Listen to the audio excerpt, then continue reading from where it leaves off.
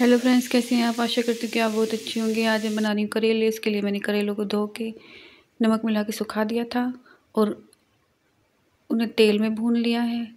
उसके बाद मैंने दोबारा तेल डाला और तेल डालने के बाद उसमें सौंप डाल दिए।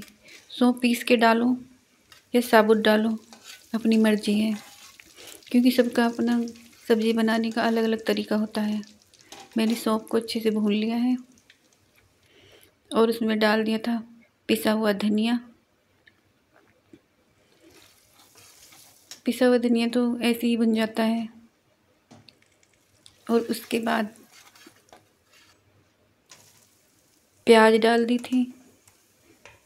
देखिए मैंने इसमें अच्छे से प्याज काट के डाल दिए।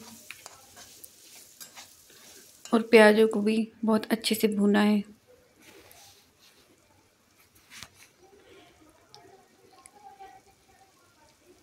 प्याज भुन जाने के बाद उसमें हल्दी और मिर्च डाल दी। इन दोनों चीज़ों को भी अच्छे से भून लिया है मैंने। और ये सब भुन जाने के बाद उसमें डाल दिए करेले। और करेलों के बाद हरी मिर्च लंबी काट के मैंने इसमें डाल दी थी। करेले ऐसे ही बनते हैं। उसके बाद मैंने इसमें नमक डाल दिया और खटाई डाल दी थी, जो कि मेरी वीडियो डिलीट हो गई थी, इसे मैं डाल नहीं पाई। देखिए हमारे करेले देखने में तो बहुत अच्छे लग रहे हैं। और मेहनत की है तो खाने में भी अच्छे लगेंगे। करेले इस तरह ही बनते हैं। और सबकी बनाने की अलग अलग तरीके होते हैं। वीडियो अच्छी लगी तो लाइक एंड सब्सक्राइब करना। बाय।